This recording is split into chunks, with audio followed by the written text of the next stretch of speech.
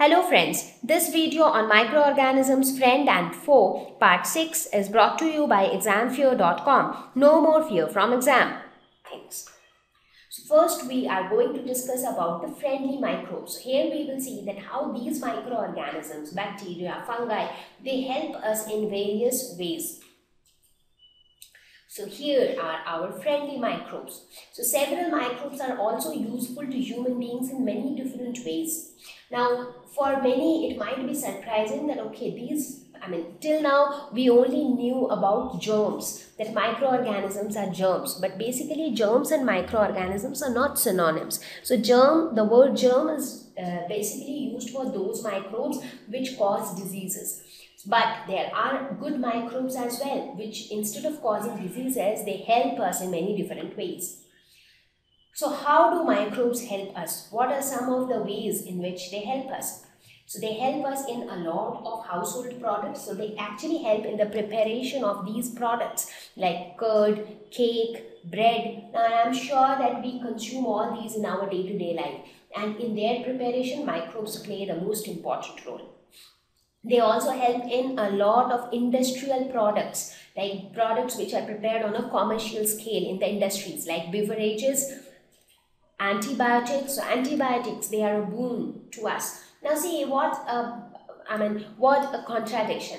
Antibiotics are used to get rid of diseases and the diseases are also caused by microorganisms. So on one hand we have a group of harmful organisms which cause diseases. On the other hand we have a group of helpful microorganisms which help in preparing antibiotics and these antibiotics will cure the diseases. So that means they serve both the purpose. They also help in preparation of a lot of enzymes and acids and these enzymes and acids are again very much helpful in sewage treatment, sewage treatment is another important application. So right now you might not know what exactly is sewage treatment. So I'll just quickly tell you what it is. What is sewage? Sewage is the unwanted water which contains, yeah, which has a lot of uh, pollutants and which can cause air pollution and water pollution and it comes out of your house every day. So this sewage if you directly dispose them off into a river or a pond what happens the water in that river or pond gets completely polluted and the water becomes unsuitable for drinking purpose. So what needs to be done is this sewage should be properly treated because it is before it is disposed of to any other water body.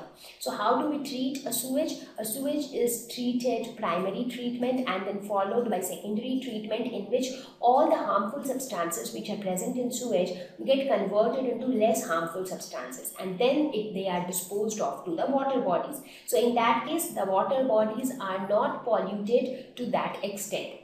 So this is basically sewage treatment. And in the process of converting more toxic substances into less toxic substances, microbes play a major role.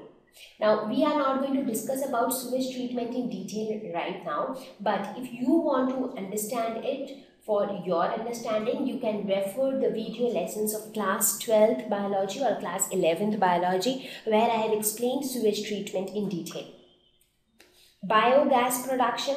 So biogas is another uh, environmental environment friendly gas or a fuel. And in the production of this type of fuel also microorganisms play a major role. Control of pests and diseases like the pests and diseases which uh, happen in, in case of plants or in case of animals also controlling them also microbes play a major role they are also used as biofertilizers as well as decomposers. So what are biofertilizers and what are decomposers? So biofertilizers are living organisms or microorganisms which act as fertilizer.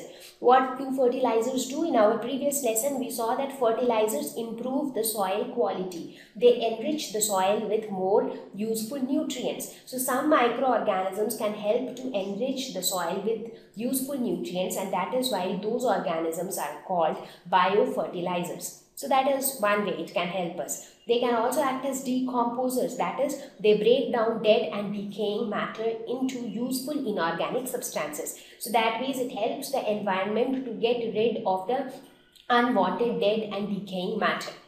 So these are some of the ways in which microbes can be helpful to us. So here in this lesson, we are going to focus on some of them. For example, we will talk about the household products, we will talk about the industrial products, we will talk about the biofertilizers, we will talk about the decomposers. So we will talk about quite a few things. So Thank you. Please visit www.examfear.com to watch more educational videos with a better experience. Please do not forget to like and subscribe to our YouTube channel for latest updates. Thank you once again.